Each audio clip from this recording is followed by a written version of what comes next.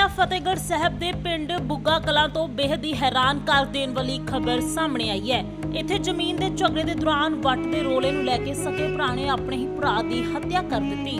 ਕਥਿਤ ਦੋਸ਼ੀ ਅਤੇ ਉਸ ਦੀ ਪਤਨੀ ਨੂੰ ਫਿਲਹਾਲ ਪੁਲਿਸ ਨੇ ਗ੍ਰਿਫਤਾਰ ਕਰ ਲਿਆ ਹੈ। ਦੱਸਣਯੋਗ ਹੈ ਕਿ ਹਥਿਆਰੇ ਦੀ ਪਤਨੀ ਦੇ ਨਾਂ ਦੇ ਉੱਤੇ ਹੀ ਹਥਿਆਰਾਂ ਦੇ ਲਾਇਸੈਂਸ ਸਨ। ਪੁਲਿਸ ਦੇ ਵੱਲੋਂ ਇਹ ਜਾਣਕਾਰੀ ਸਾਂਝੀ ਕੀਤੀ ਗਈ ਹੈ। ਫਿਲਹਾਲ ਪੁਲਿਸ ਨੇ ਉਹਨਾਂ ਨੂੰ ਗ੍ਰਿਫਤਾਰ ਕਰ ਅਗਲੇਰੀ ਕਾਰਵਾਈ ਸ਼ੁਰੂ ਕਰ ਦਿੱਤੀ ਹੈ। ਗੋਲੀ ਮਾਰ ਕੇ ਸਕੇ ਭਰਾ ਦੇ ਵੱਲੋਂ ਆਪਣੇ ਹੀ ਭਰਾ ਦੀ ਹੱਤਿਆ ਕੀਤੀ ਗਈ ਹੈ। ਇਹ ਬੇहद ਮੰਦਭਾਗੀ ਘਟਨਾ ਜ਼ਿਲ੍ਹਾ ਫਤਿਹਗੜ੍ਹ ਸਾਹਿਬ ਦੇ ਪਿੰਡ ਬੁੱਗਾ ਕਲਾਂ ਦੇ ਵਿੱਚ ਵਾਪਰੀ। ਬਿਊਰੋ ਰਿਪੋਰਟ ਅੱਜ ਦੀ ਆਵਾਜ਼।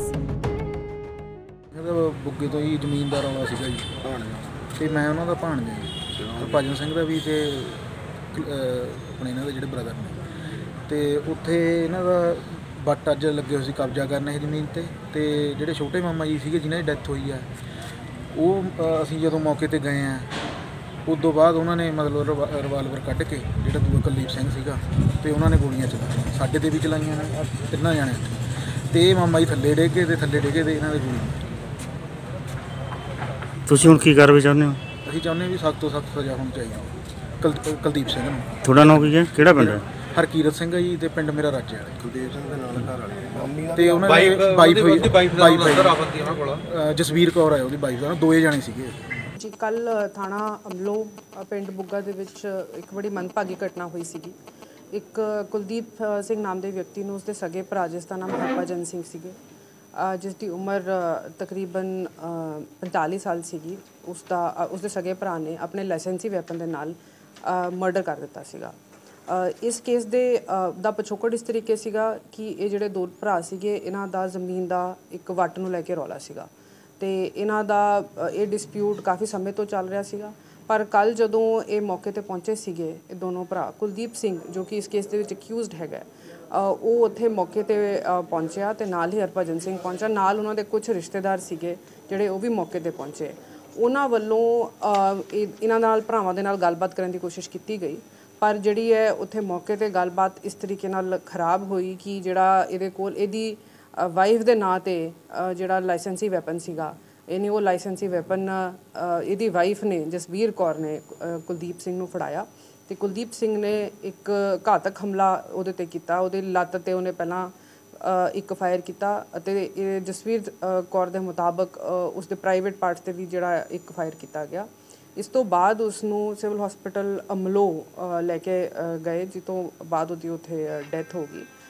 ਮੈਂ ਇਹਦੇ 'ਚ ਖਾਸ ਤੌਰ ਤੇ ਦੱਸਣਾ ਚਾਹੂੰਗੀ ਕਿ ਸਾਡੀ ਜਿਹੜੀ ਪੁਲਿਸ ਦੀ ਟੀਮ ਹੈਗੀ ਹੈ ਜਿਸ ਨੂੰ ਲੀਡ ਕਰ ਰਹੇ ਸੀ SP D sahib DSP D sahib ਅਤੇ ਡੀਐਸਪੀ ਅਮਲੋ ਸਾਹਿਬ ਸਮੇਤ ਜਿਹੜੀ ਥਾਣਾ ਅਮਲੋ ਦੀ ਪੁਲਿਸ ਪਾਰਟੀ ਉਹਨਾਂ ਨੇ ਇਹਦੇ 'ਚ ਬਹੁਤ ਸੁੱਝ-ਬੁੱਝ ਨਾਲ ਕੰਮ ਲਿੱਤਾ ਤੇ 4 ਘੰਟਿਆਂ ਦੇ ਵਿੱਚ ਜਿਹੜਾ ਇਸ ਕੇਸ ਦਾ ਪ੍ਰਾਈਮ ਅਕਿਊਜ਼ਡ ਸੀਗਾ ਉਹਨੂੰ ਅਰੈਸਟ ਕਰਕੇ ਉਹਨੂੰ ਕਸਟਡੀ 'ਚ ਲਿੱਤਾ। ਕਸਟਡੀ 'ਚ ਲੈਣ ਤੋਂ ਬਾਅਦ ਜਿਹੜਾ ਕਿ ਵਾਰਦਾਤ ਦੇ ਵਿੱਚ ਵੈਪਨ ਯੂਜ਼ ਹੋਇਆ ਸੀਗਾ ਉਸ ਦੀ ਵੀ ਰਿਕਵਰੀ ਕੀਤੀ ਗਈ ਹੈ। ਮੈਂ ਦੱਸਣਾ ਚਾਹੂੰਗੀ ਕਿ ਇਹ ਜਿਹੜੀ ਜਸਵੀਰ ਕੌਰ ਹੈ, ਇਸ ਦੇ ਨਾਂ ਤੇ ਦੋ ਵੈਪਨ ਸੀਗੇ। ਇਹ ਦੋਵੇਂ ਵੈਪਨਸ ਨੂੰ ਰਿਕਵਰ ਕੀਤਾ ਗਿਆ ਹੈ ਅਤੇ ਜਿਹੜੇ ਖਾਲੀ ਰਾਉਂਡ ਜਿਹੜੇ ਕਿ ਵਾਰਦਾਤ ਦੇ ਵਿੱਚ ਯੂਜ਼ ਕੀਤੇ ਗਏ ਸੀ 32 ਬੋਰ ਰਿਵਾਲਵਰ ਦੇ, ਉਹ, ਉਸ ਨੂੰ ਵੀ ਰਿਕਵਰ ਕੀਤਾ ਗਿਆ ਹੈ। ਤੇ ਨਾਲ ਜਿਹੜਾ ਦੂਜਾ ਵੈਪਨ ਜਿਹੜੇ ਦੂਜੇ ਰਾਉਂਡ ਸੀਗੇ ਉਹਨੂੰ ਵੀ ਰਿਕਵਰ ਕੀਤਾ ਗਿਆ।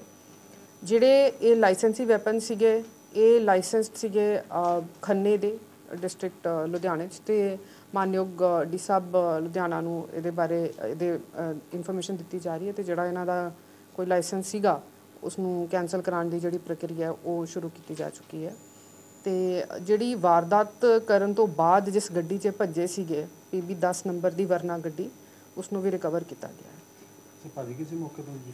ਜੀ ਇਸ ਜਦੋਂ ਇਹਨਾਂ ਨੇ ਗੋਲੀ ਚਲਾਈ ਉਸ ਤੋਂ ਬਾਅਦ ਇਹਨਾਂ ਨੇ ਮੌਕੇ ਤੋਂ ਇਹ ਫਰਾਰ ਹੋਏ ਤੇ ਜਿਹੜੀ ਗੱਡੀ 'ਚ ਫਰਾਰ ਹੋਏ ਜੀ ਅ, ਉਸ ਨੂੰ ਵੀ ਅ, ਪੁਲਿਸ ਨੇ ਰਿਕਵਰ ਕਰ ਲਿਆ।